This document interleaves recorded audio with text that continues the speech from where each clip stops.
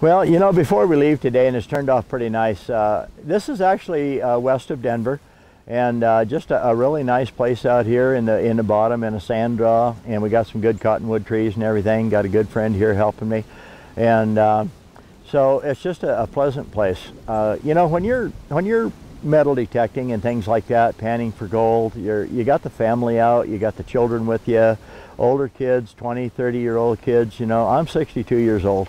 My daughters are uh, 38, uh, 39, and 40. Well, 38 and 39, I guess.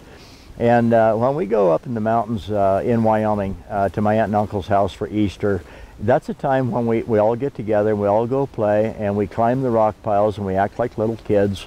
And uh, we take our my grandson, my granddaughter, and one of the older grandkids. But you know, just being out, if, if you have reason and purpose for this right here, believe it or not, you're in a situation where you're going to have a family fun time. Uh, you know, get prepared, do the right products, be safe, you know, take some medical supplies with you.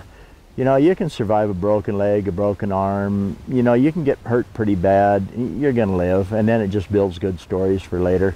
You know, it really does. Um, the first time I broke my leg, I was seven years old ice skating, and my two brothers and my sister had a lot of fun calling me a ball baby uh, get up, ball baby, you know. And of course they weren't mean. It's just, you know, you fall down so many times. Well, my leg was actually broken completely in two. Uh, the big bone, the little bone down in the shin. And uh, I actually ended up doing the second grade over. Uh, it was a bad deal. It got worse. The doctor didn't catch the little bone broken. Of course, uh, when I was seven and I'm 62 now, so that was a long time ago. I tried sleeping on the table, sleeping on the floor. The bed was too soft. It gave. The, the leg hurt one day, about three to four days later, my stepdad, who was six foot two, about 230 pounds, told my mother, uh, I don't care what he says, Etta, he's going to the hospital. And uh, so I went to the hospital, but you know what? That was the first time, broke it again later. And um, I've had a lot of bo uh, broken body parts actually. um, but just have fun, get out in the woods, get out in the timber, go swimming, go hiking, find family oriented things to do. Like I said, if you're doing things, hunting, hiking, camping, fishing, and you actually need products like this, you're doing something fun.